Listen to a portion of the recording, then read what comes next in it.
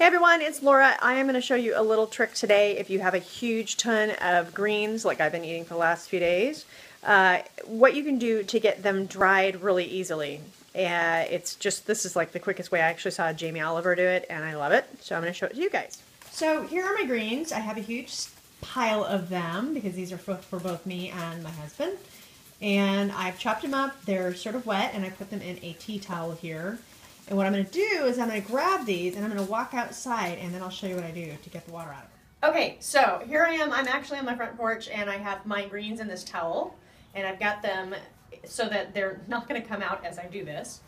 And I'm going to spin them around like this in my towel and there's water coming out.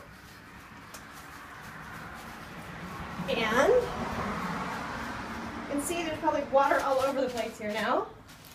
But it's all in towel and the greens are now dry.